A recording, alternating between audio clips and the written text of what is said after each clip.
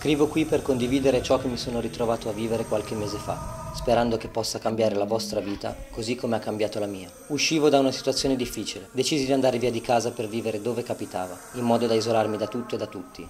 Mi ritrovai a condividere sempre più tempo con altri senza tetto e così facendo scoprì molte cose su di loro.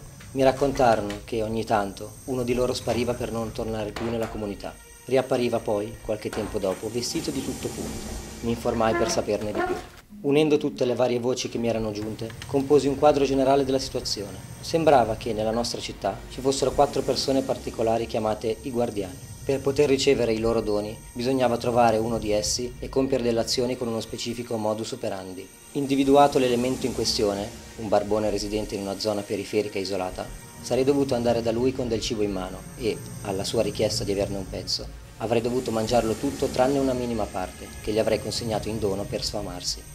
Dopo alcune ricerche, identificato l'uomo in questione, mi diressi da lui con un pezzo di focaccia.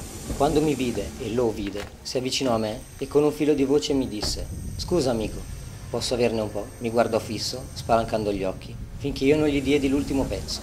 Lo mangiò in un solo morso e mi sorrise una volta ingoiato. Mi si fiondò addosso, mi abbracciò e da quell'istante non ricordo cosa successe. Mi risvegliai a casa il giorno dopo e, da quel momento, nessuno litigò più intorno a me senza parlare dei milioni che iniziai a guadagnare.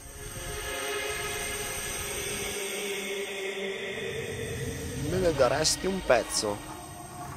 Sì, so che sei tu il guardiano.